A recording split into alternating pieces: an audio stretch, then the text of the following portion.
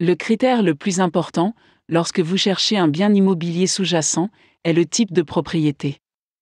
Lorsque vous envisagez un achat, vous devez vous demander si le bien dans lequel vous investissez est rentable pour vous ou non. Les maisons résidentielles, les entrepôts, les centres commerciaux, etc. sont autant de catégories de biens susceptibles d'être investis. Lorsque vous investissez, vous ne pouvez pas supposer qu'un type de propriété fonctionne mieux sur le marché que les autres. De même, vous ne pouvez pas supposer que la propriété continuera à être une bonne affaire à l'avenir simplement parce qu'elle a bien fonctionné dans le passé. Les différents types de propriétés qui sont connus pour produire des revenus sont discutés ci-dessous. Immeubles de bureaux, le besoin de bureaux est généralement lié aux entreprises qui ont besoin d'espace pour leurs employés.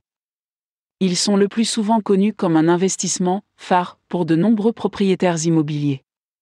Ce sont en moyenne les propriétés les plus élevées et les plus importantes en raison de leur emplacement typique.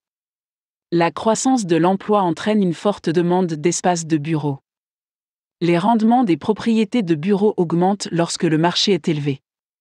Propriétés industrielles, les industries peuvent être utilisées pour la recherche et le développement, la distribution et l'entreposage. Il existe différents types d'industries en fonction de l'utilisation du bâtiment. Les propriétés industrielles nécessitent des investissements moyens, moins de gestion et moins de frais d'exploitation. La fonctionnalité est le principal facteur à prendre en compte dans une propriété industrielle. L'emplacement, la conception du bâtiment, les voies de transport, la présence d'espaces extérieurs sont quelques-uns des facteurs à prendre en compte. Propriété de vente au détail, les propriétés de vente au détail vont des centres commerciaux aux immeubles un seul résident dans une zone piétonne.